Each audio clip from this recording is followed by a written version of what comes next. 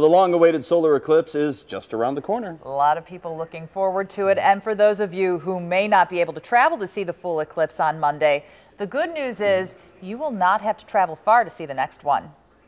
Solar eclipses in general are mainly about right, being in the right place at the right time. And to see the full solar eclipse in 2017, the right place isn't exactly close to Cincinnati. It's about a three and a half hour drive to the path of totality right now in 2017. In 2024, it's literally a half an hour drive to see totality. Seven years from now, the U.S. will experience another solar eclipse, and that will be the one you will not want to miss here in the tri state. Places like Harrison, Ohio will get a total eclipse, while us here at the Cincinnati Observatory are going to get 99%. This is because the path of the eclipse will change. The eclipse in 2017 is going from coast to coast from Oregon to South Carolina, and the eclipse in 2024 will go up from Mexico, Texas, and then through Ohio. Dean Regas of the Cincinnati Observatory says the visuals Monday here in Cincinnati won't be as good.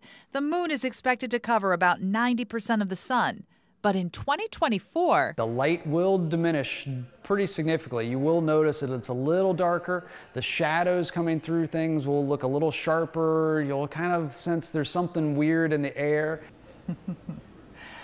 Starting at 1 in the afternoon on Monday, Thomas More College is having a special viewing for students to catch a glimpse of the eclipse.